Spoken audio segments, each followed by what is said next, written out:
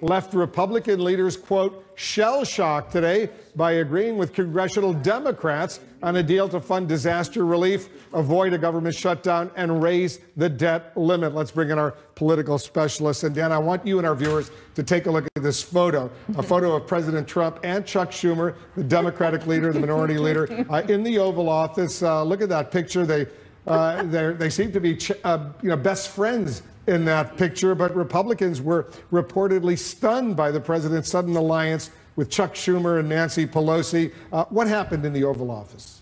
What happened is that the president completely surprised everybody, uh, the Republicans and the Democrats, by effectively ignoring the, the, pleas from Republicans to go, Republican leaders in Congress, to go along with what they thought was a plan to push for an extension, first of all, at the most, uh, at, excuse me, at the very least, 18 months for the debt limit.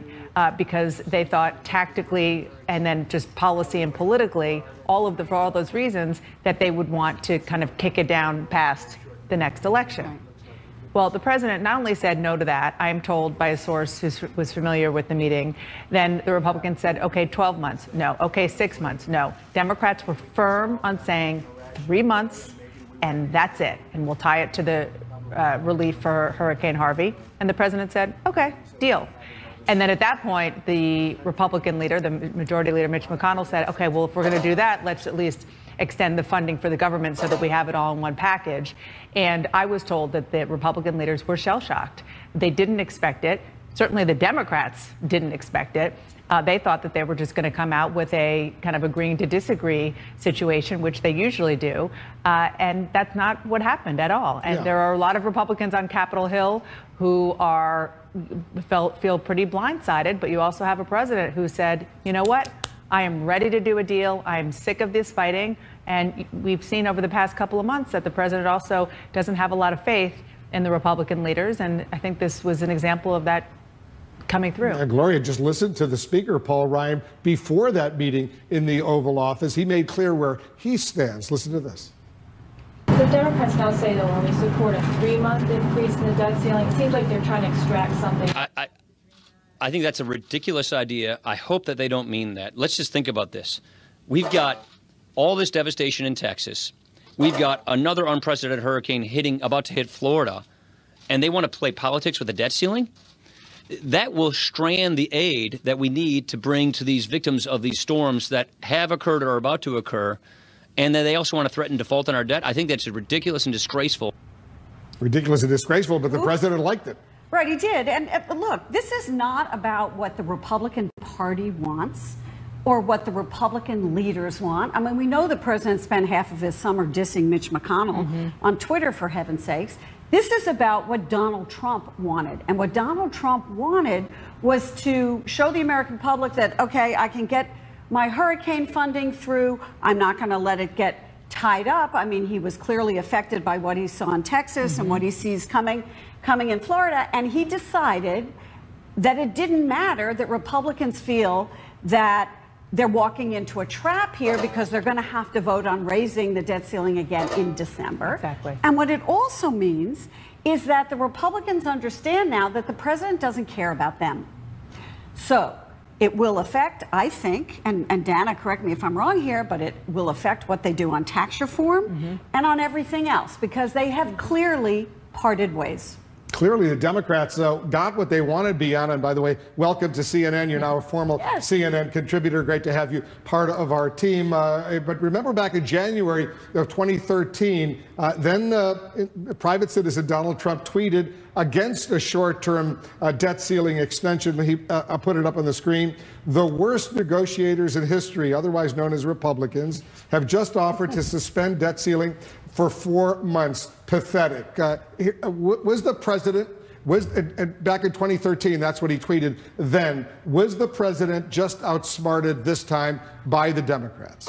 Well, we call it a tale of two Donalds, right, Wolf? I mean, it's almost a game now. There's a tweet for just about everything the president has said from his private life that can be contradicted now to what he's saying when he's in office. Uh, the president, uh, many Republicans could argue, does come across as very uh, desperate for a deal. We only had 12 legislative days in the month. He's got this huge Russia investigation headache as well. As you mentioned, he saw the devastation firsthand in Texas. He sees what's happening in the Caribbean as well. But but he mm-hmm. say, listen, he could have at least tried to extend the debt limit for longer. To you have zero time now to get tax reform done. I completely agree with Dana and Gloria, and he also could have tied higher defense spending in as well, or at least attempted to. But I will say, this is the president that never ceases to surprise. Mm-hmm. So uh, never say never until the ink is dry. And I was also struck by what Mitch McConnell said. He said this president speaks for himself. Remember who else said that? Rex Tillerson.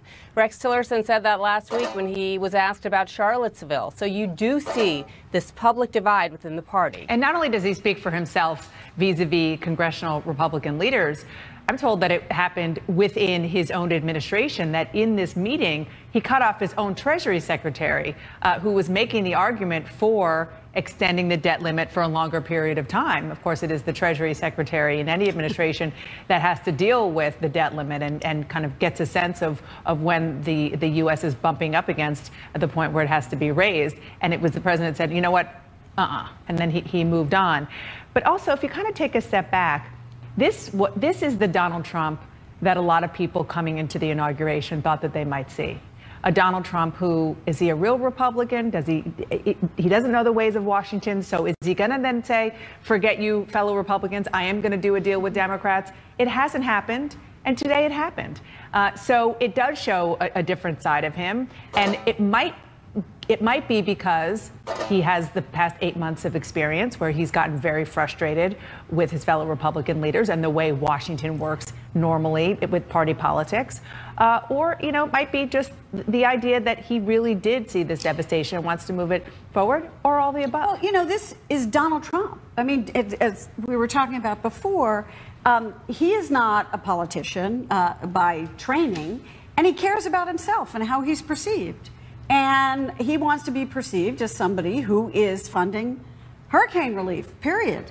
And I don't think he wanted anything to get in the way of that, including his own political party and including his own political future in terms of what he can get done uh, in the Congress. Uh, this is who he is. We haven't seen a lot of it because mm-hmm. there's been this push and pull in the White House for who can get to Donald Trump and mm-hmm. who is he who is he going to agree with today. Well, what does this mean for DACA, for example?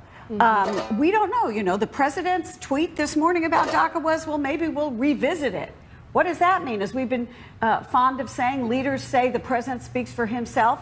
Uh, members of his press team say the president's tweets speak for themselves, and everybody is still left scratching their heads. And you know, yeah. and, and, I want to get back there, Bianna. He was so nice and friendly with the Democratic leaders, calling Nancy and Chuck as if they were old pals, uh, and that's clearly going to put a lot of Republicans in an awkward uh, position.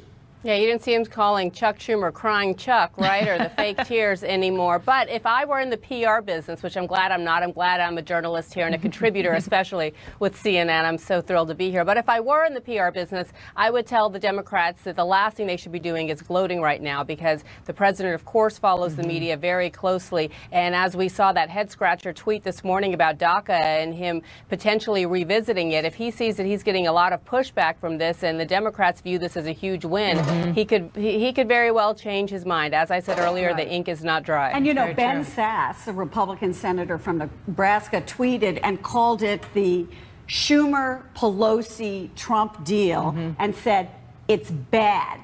And, you know, so it's already being called Schumer, Pelosi, Trump. Let's see how. Let's see how if the president revisits that, that deal as well. All right, guys, everybody stand by. There's breaking news. We're following Hurricane Irma a Category 5 monster. It's battering islands in the Caribbean and aiming for the United States right now. Tens of millions of people may be in the path of the storm. Evacuations are now underway in Florida.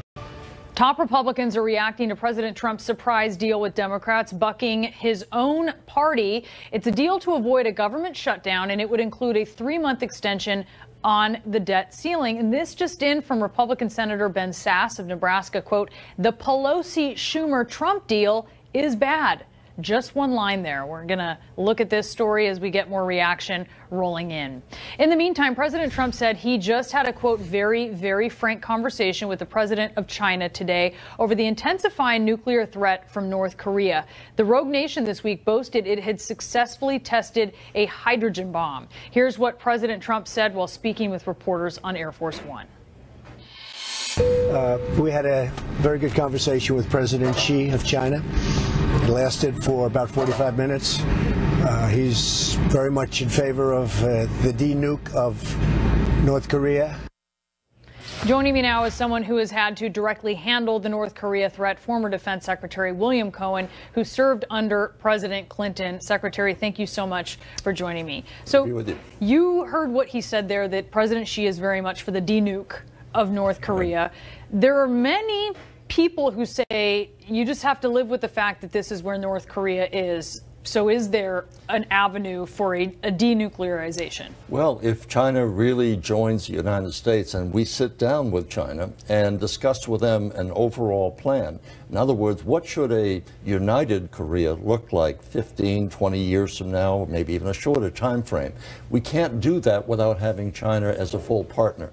So the first thing we have to do is to, once China gets through its plenum and, and resolve their own political problems, uh, not problems, but challenges at least, but um, to sit down with President Xi and his strategists and say, how do we solve this problem? Because a nuclearized uh, North Korea poses the potential for spreading that to South Korea, Japan, and others. None of us want that, so how do we deal with it? I think that's possible. What should, I mean, we hear it was a frank conversation that they had, but where do President Xi and President Trump need to be?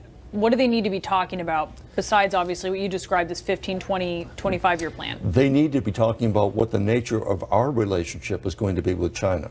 Right now, it's unclear. What are we going to do vis-a-vis China? China is a growing power. We're an established power. What does that mean in terms of the so-called Thucydides trap? Namely, you've got this imbalance taking place with the existing power being confronted with a rising power. History has not been uh, very positive on that. Of the 16 studies that have been done, 12 of those studies resulted in looking at the past history. 12 of those uh, incidences result, um, involve war. So we're trying to avo uh, uh avoid, avoid that if at all possible. Now, with respect to, uh, to North Korea, the North Koreans have been basically uh, showing contempt not only for the United States, the United Nations, but also for China itself. Mm -hmm. China has been its principal benefactor. If President of uh, China says, time for a change here, uh, I think the North Korean uh, president has to worry about uh, what's going to happen to his regime. You saw the Russian president's comments. Vladimir Putin met with the South Korean president today, and he said that the North Korea situation may be, quote, impossible to resolve. What did you think of that? Well, President Putin said a couple of interesting things. Excuse me. He said that uh, sanctions don't work. If sanctions don't work, why is he so interested in getting them removed from Russia? He's been desperate to have those sanctions removed from him.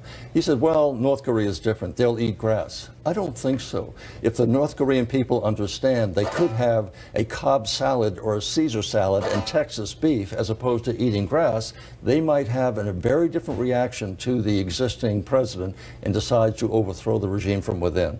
That's the difference. And I think that's something that we should contemplate. We should send the signal on an information campaign to say, you're not going to be so secure when your people find out what you've been doing to them compared to what's happening in South Korea.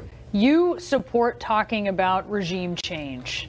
Why? I've talked about it in the sense that if you're not going to change the course of your regime by stopping the building uh, of these nuclear weapons and threatening everyone, then we have to consider having a regime change. Hopefully that will come from within. Namely, if you have enough generals say, you know, we could be doing a lot better than we're doing now, life could be much more secure and prosperous to us, I think they might consider uh, removing him. You see it as a important stick, as a motivating stick, right? I do. I think it's an incentive uh, that we should uh, look uh, to, uh, a stick that we should use, uh, I should say, to, uh, to hit um, President Kim with. Any dangers in that?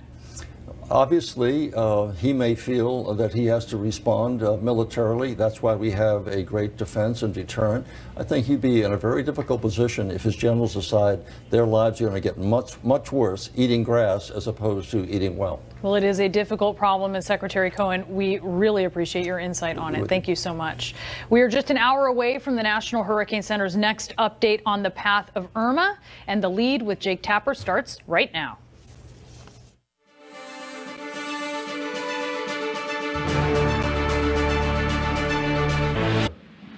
Thank you, Jake. Now we go to meteorologist Tom Sater, who's in the scene. Today, President Trump says he is not sending mixed signals and that he doesn't have second thoughts about ending DACA, that program that protects undocumented immigrants who grew up here in the U.S.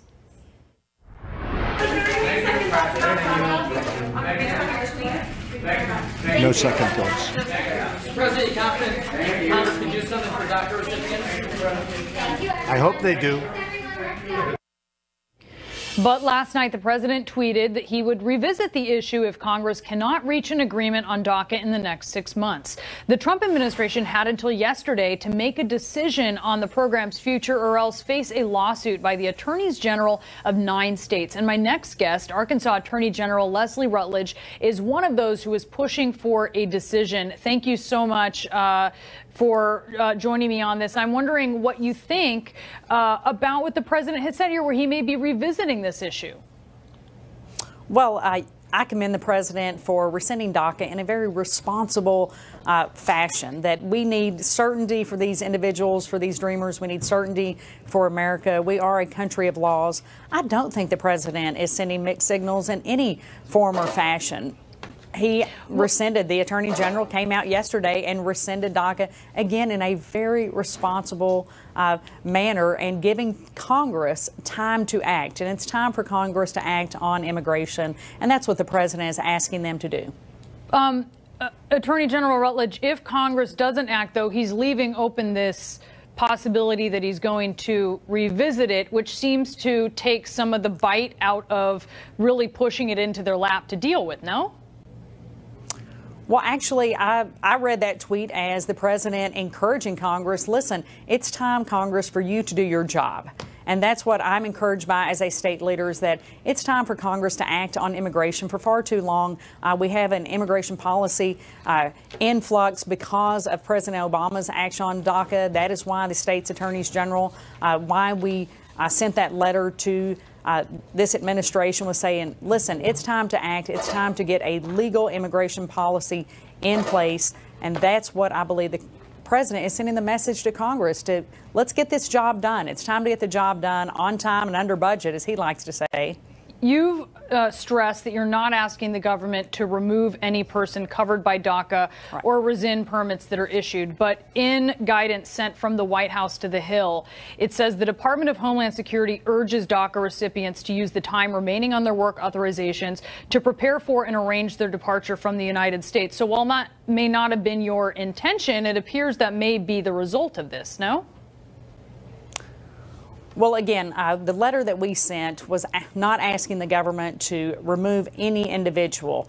However, uh, what the government has done now is said, yes, that those individuals who have uh, license in place, that we're not going to renew those. However, they can stay through those uh, those license through their approval time. They can, if you haven't if it's expiring before March of next year, it's time to get those renewed. Turn that in by October 5th of this year. So this is a responsible plan, and I think that's what America needs is a but responsible this says, plan this says to give arrange, these dreamers the arrange for the departure. And even if you're saying that you're not talking about removing someone, uh, advocating to remove a protection, even if there are issues with how President Obama put this in place, advocating to remove the protection, of course, has the result of someone perhaps being removed from the U.S.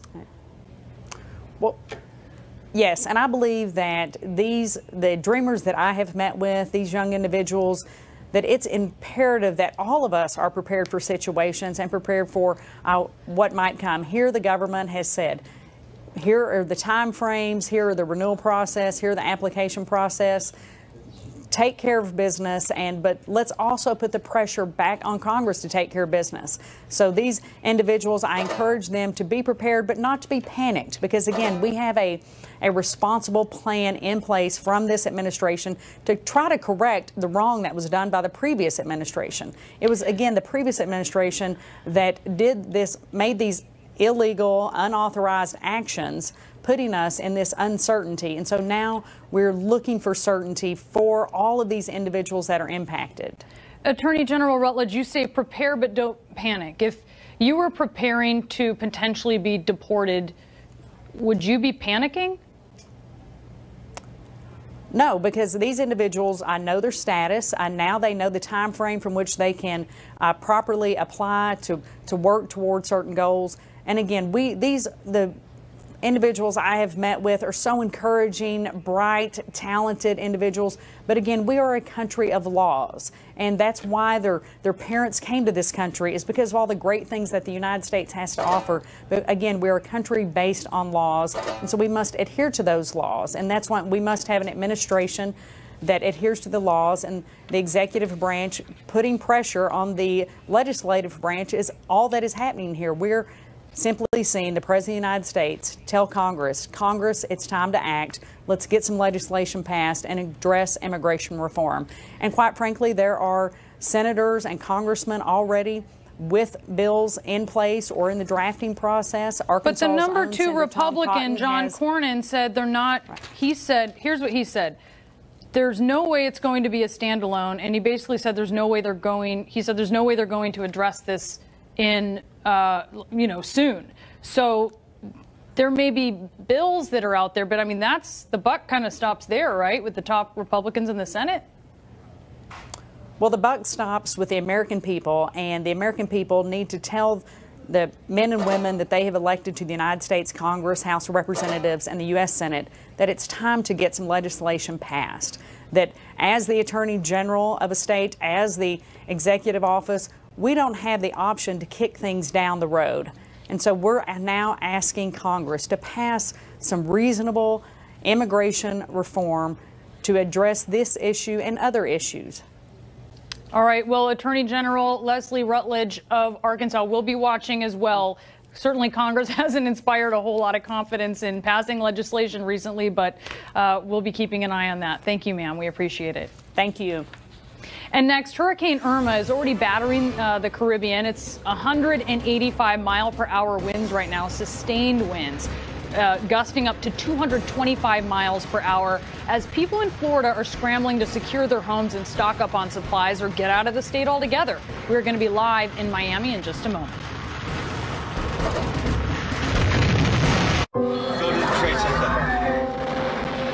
We are back now with some very intriguing breaking news coming out of the White House. Donald Trump has sided with Democrats when it comes to increasing the debt ceiling. He had a meeting with congressional leaders, and I have a picture that we just have to show you. This is of the top Democrat in the Senate, Chuck Schumer, there talking to the president.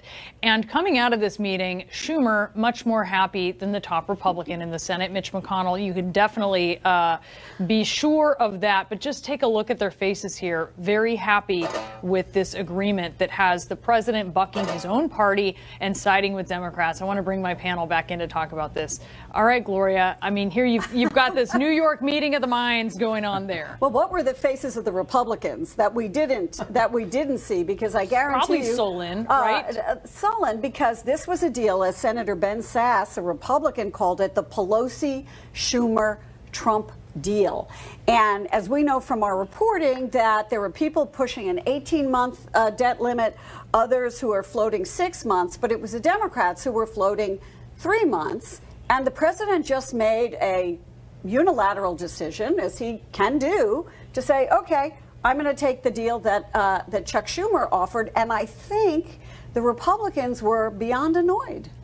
What's the matter with this, David, though? If he's just, even if he is just kicking the can down the road for three months, what's the matter with not having this fight right now and putting it off? We've seen Congress have smaller extensions on whether it's the debt ceiling or it's government funding. We've seen these things. Well, the argument against it is they're going to have to go through all of this again in December, right around the holidays. A nice holiday present for the GOP, which it's, it's sort of become an annual event with the Republicans. But White House aide just emailed me and said, look, there's too many important things on the agenda. Republicans will pass another debt ceiling when push, push comes to shove. They want tax reform. And also, a short term deal allows funding for what you're covering today another catastrophic hurricane that is going to pulverize this country. And we, we just saw the last week what the people of Texas and Louisiana are going through. The White House is arguing get this off the table so keeps the government open so we have funding for victims of Hurricane Irma. That's going to be their case. I think this is very much, uh, you know, perhaps the biggest example yet of on the job learning as president. Presidents, like every other job, learn on the job, and the president has power.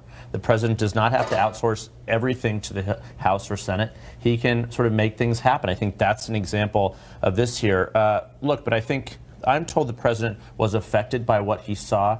Um, um, uh, in the aftermath of uh, Hurricane Harvey. We obviously see what's happening in Florida. Some of his personal properties are involved in this. He knows what's going on. He does not want Washington sort of to be at each other's throats over this. Now, the question is, it probably will come in December, but he does have, um, you know, more leverage here. But I think this is a sign that he is, uh, you know, it's what some Republicans and conservatives worried about. That picture of Senator Schumer and and Wow. the president. At the very beginning in January, this seems like a million years ago, conservatives thought he's going to cut a deal with Schumer on infrastructure. That, of course, didn't happen. And this may be a one off. This may be a one off thing. Even some Democrats are suspicious about sort of all of this, but, but certainly very interesting. Some some other intrigue in this meeting, Gloria. Ivanka Trump walks into the meeting, uh, takes part in the meeting, and CNN has some reporting that Republicans seem to be dismayed by her presence there. What's going on here? Well, and there is some pushback on that, as, as Jeff is also reporting. Look, I think Republicans were dismayed by what was occurring in the meeting. And so they may uh, have acted like they were dismayed by Ivanka. We don't really know the whole the whole story yet about whether she she was in the meeting apparently to talk about uh, child care, tax credits, et cetera, et cetera. And she may have provided some relief to Republicans who didn't like what was what was going on. I think there's also a question just among Republicans on how much juice Ivanka has. There's all this palace in- intrigue constantly about how much influence she has over the president, right? She's the most powerful advisor in the White House. But when push comes to shove, she doesn't land on the same side as the president on a lot of these issues. And I think that's a constant uh conversation, I think a Washington conversation about is she just in the room as a symbol or does she really have some pull and influence over Well, the we know president? that she is uh, very committed to this issue that she was in there to talk to leaders about. And this is the first time we are in September, the first time that these four leaders have sat down at the White House with the president. That's sort of unusual. But I'm told as a fuller picture this comes together, as Gloria was saying earlier, uh, Republicans were annoyed in general. Uh, I'm told that uh, Senate Majority Leader Mitch McConnell uh, was a bit more annoyed by uh, Ivanka Trump, perhaps, but by the whole uh, picture. Speaker Ryan has said in a statement he was not annoyed by her at all. All right, very good point. All right, Jeff Zeleny, David Catanese, Gloria Borger, thank you to all of you. Next, President Trump says that he's ending the Dreamer program, which protects undocumented young people brought to the U.S. by their parents who really know no other country other than America. Then he tweets that he might revisit this decision. Then today he insists he's not sending mixed messages. One of the state attorneys general who threatened to sue over that Obama era program is going to join me live. Go to the Trade Center.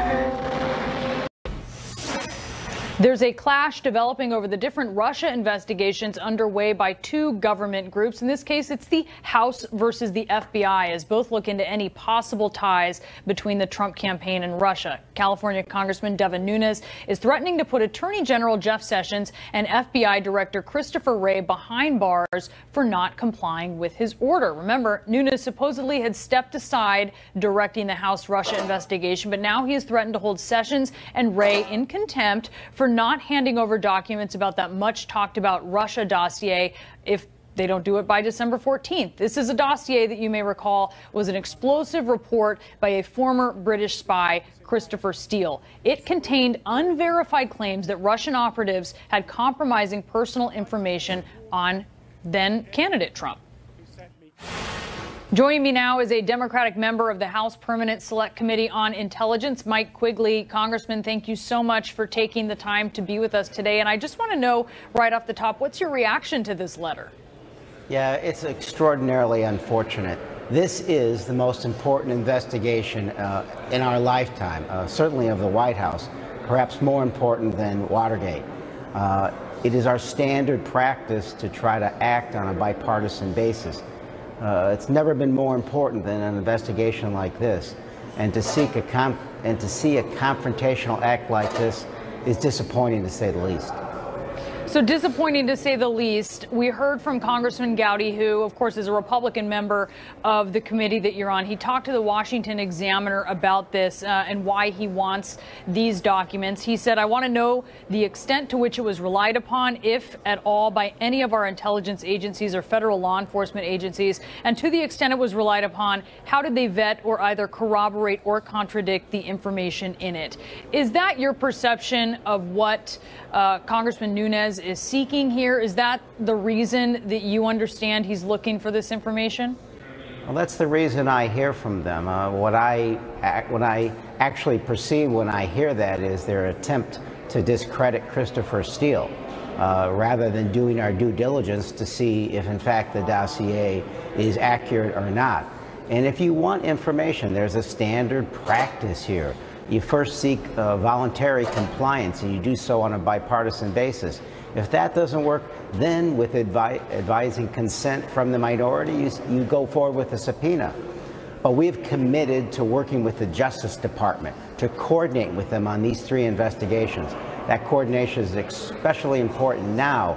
When you go to a confrontational mode first, it makes it far more difficult for further cooperation to exist. Is it fair, though, for Congress, or in this case, Republicans, obviously, since they don't have Democratic support on this, to look into Christopher Steele and this dossier. Some of the things in it are, uh, as far as we can tell, unfounded. Many of them are controversial. Is it fair to look into that and to see if the FBI relied heavily on this or looked into this? What would the problem be with looking into these allegations? I think it's valuable for us to do our due diligence to see if the dossier is accurate. Uh, I've never been made aware of anything about it that is inaccurate, but I think you'll let the investigation take its course. Uh, to jump in now, again, on a confrontational uh, tact makes absolutely no sense. I think our commitment was to work with uh, the Mueller investigation and to provide assistance when we can, not accuse them of things as my Republican colleagues are at this point. Do you generally feel like Republicans are cooperating with special counsel? Look, I think we had a good uh, situation set up with uh, Mr. Schiff and Mr. Conaway working on our side uh, with the Justice Department, with Mr. Mueller. I thought we had an understanding that we were going to coordinate, and I applaud their work. Uh, this is attacked in the opposite direction. It's not going to help any of the investigations. I want to ask you about uh, what appears to be a conflict that has come up. Paul Manafort, former chief of Donald Trump's campaign, one of them, uh, the second to last, he uh, has spoken, of course, to Senate investigators. There's a transcript of that discussion, but it appears his lawyers, or we know that his lawyers, are saying no, that the FBI cannot access this, that special counsel Robert Mueller can't have access to this. What do you think about that? Yeah, it's another element in the same problem. The, the Senate investigation, the House investigation, and the Justice Department investigation have to be coordinated. If there is a big problem with this, uh, these efforts from the very beginning, is that there was no understanding that the Senate and the House were going to work together. Frankly, I think there should just be one congressional investigation. You start to see the fissures that exist when you don't have that agreement, that cooperation, that coordination. You have conflicts like this. Again, we have to understand that the single purpose of this is far more important than the egos or the conflicts uh, that might exist between branches of government and the House and the Senate. The former National Security Advisor Susan Rice testified before your committee today. I, I know some of it you certainly can't tell us what she said, but coming out of that, uh, what were your I guess, impressions about what she said? Were new questions raised? Were your answers or were your questions answered? Yeah, uh, I, I, can't talk about what she talked about. Uh, I can I can say that she's an important witness, and uh, I thought she did an excellent job. Um, she's only one of a long series of witnesses that uh, we have to question. Uh, did I you learn anything folks, new, though? Was there anything that surprised you, or anything that shed light on something you weren't previously aware of? I think it's important to put it in this context. I think the majority is attempting to use the issues of masking and unmasking uh, as a, an attempt to deflect from the core purpose of this investigation. So uh, it's my sense that that's why the majority wanted her there, but I can't talk about much in specifics as to what she testified to. Yeah, we do understand that. All right, Congressman Mike Quigley of the Intel Committee on the House side. Thank you, sir. Thank you. Floridians are keeping a very close eye on Irma. It's the Russia investigation back in the spotlight. Former National Security Advisor Susan Rice has been meeting this morning with the House Intelligence Committee. Seeing some video right there. Tomorrow, it will be Donald Trump Jr.'s turn in the hot seat. The president's son facing questions in the Russia investigation, his first time facing congressional investigators. CNN senior congressional reporter Manu Raju has all of the details on this. Manu, what are you picking up? I just spoke with uh, Joaquin Castro. I don't know if you had a chance to hear. He called the conversation with Susan Rice very informative. Uh, it, it, seems that there are a lot of questions there in that particular session about the issue of unmasking, but that is really not going to be the focus on the Senate side, not for right. the Senate Judiciary Committee or in the Senate Intelligence Committee. And the Senate Judiciary Committee, of course, now the home of this first time, uh, first venue of the first time that Donald Trump Jr. will actually answer questions about that June 2016 to, uh, Trump Tower meeting with Russian operatives, Paul Manafort, Jared Kushner. Now, this is going to be a staff level meeting. Of the Judiciary Committee staff, some members can sit in on the meeting, but uh, I am told that there's ex- expectation that Donald Trump Jr. should appear publicly. And one top Democratic senator on that committee, Dianne Feinstein, told me that if he does not appear publicly, the committee is prepared to subpoena him. There's an interview scheduled. I'm not sure exactly where it is. It's a staff interview. Right. Will there be committee members going? Uh, I can't comment on that because I don't know. What about yourself? The process Senator? that we decided on, if a committee member wants to go and drop in, that's fine. But these are staff interviews, and the staff is not to be interrupted. No senators to take over the interview. Do you and, plan on going, Senator? No, I do not we will have um, a uh, public hearing uh, with Mr. Trump at an appropriate time. And I followed up with her, asked her specifically about whether or not she'd be subpoenaed. He would be subpoenaed, and he she said that yes, that is very likely that he could be subpoenaed if he does not actually uh, appear for this public interview, which they I believe they had an agreement uh, to deal with. Now, uh, also uh, another question for the Judiciary Committee and the Intelligence Committees to look at are these the issues about um, efforts to to build this Trump Tower Moscow project, something that we understand now that Trump's attorney Michael Cohen was pursuing even during the time of the campaign. Uh, this is something that Lindsey Graham the Republican senator from South Carolina, also uh, said that he's interested in learning about it, whether or not this is any evidence of business dealings with Russia. He also expects Cohen also to come, Kate, to his committee as well. Any timing guidance yet on when? I, I mean, this would be a huge deal if Donald Trump Jr. appears publicly in a hearing. Any, any timing guidance on that? Uh, we've been asking members. Uh, we don't have an indication that it's been right. scheduled yet. Uh, but that's something that some Democrats in particular want to happen this month. Chuck Grassley declined to comment, the chairman of the committee, when I asked him about that just moments ago, Kate. Stand by for that. Great to see you, Manu. Thank you. We are tracking, staying very close to Hurricane Irma, monstrous Category 5 storm as it moves close to the United States. The latest from the National Hurricane Center and a look at the worsening condition, conditions happening right now in Puerto Rico. That's coming up. Her name is Maida, and she was right now criticizing the action the president took yesterday in regards to 800,000 dreamers.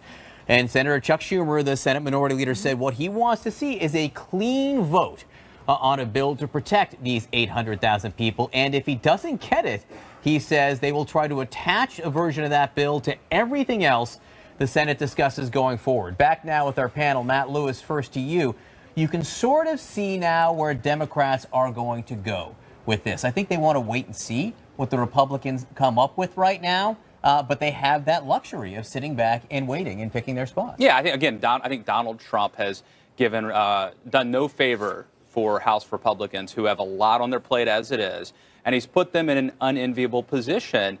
Uh, their the Republican base is very worried about immigration, actually wants to curtail certainly illegal immigration, in some cases, illegal immigration. And so they have the choice, the Republicans have the choice of being uh, uncompassionate or going against their base. And this is sort of uh, this is the liberal version of uh, on, in the abortion debate on the right. Uh, if you know, there are a lot of people with different positions on abortion, but but when Republicans talk about partial birth abortion or late term abortion, they almost always win. For decades, Republicans scored a lot of points talking about uh, partial birth abortion. This is that version on the left, okay? Immigration's a, a hot button issue. There's a lot of controversy about it. But as long as Democrats can talk about dreamers, mm-hmm. they will always win. You can tell that Senator Schumer here is running up the score. It's really impossible to be against the dreamers. These are exactly, if you believe in assimilation, if you want, uh, you know, people who would join the military uh, are going to going to help America. Uh, this is who you want in the country. It's hard to be against them, and yet, where does it end?